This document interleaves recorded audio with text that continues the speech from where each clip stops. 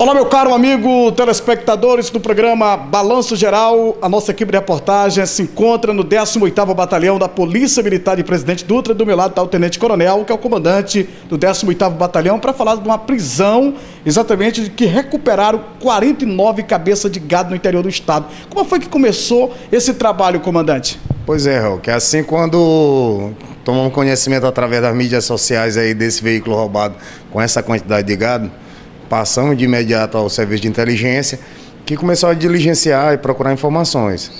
É, tomamos conhecimento que o, o, motorista teria sido abandonado nas proximidades da cidade de Senador Alexandre Costa e que o veículo teria sido abandonado nas proximidades da cidade de Grajaú. Diante disso, começamos a diligenciar e, e chegou a nós uma informação que teria, um, teria na, no povoado Clemente, próximo ao povoado Cajazeira de Barra do Corna, teria sido descarregada uma, uma carrada de gado sem procedência.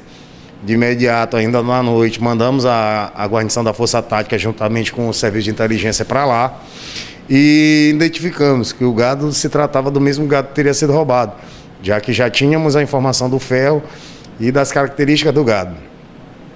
É, diante disso, prendemos, ainda durante a noite, prendemos os proprietários da, da da terra.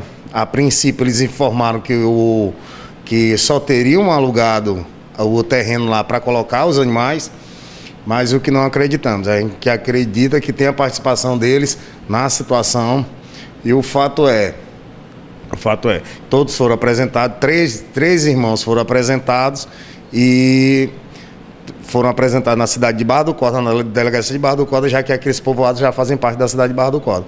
O importante é frisar que a gente consegue tirar uma quadrilha dessa de circulação, apreender os animais roubados e recuperar o, o veículo roubado. E graças a Deus motorista sem lesões.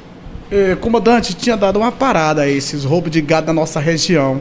Agora tentaram fazer de novo, mas com o trabalho da polícia chegou em cima dos autores. Eu quero frisar que é, todo, todo tipo de ocorrência a gente vai tomar providência. Chegou ao nosso conhecimento, a gente vai tomar providência e a gente vai procurar e prender os envolvidos em todo qualquer tipo de circunstância, tanto de roubo de gado qualquer roubo afim.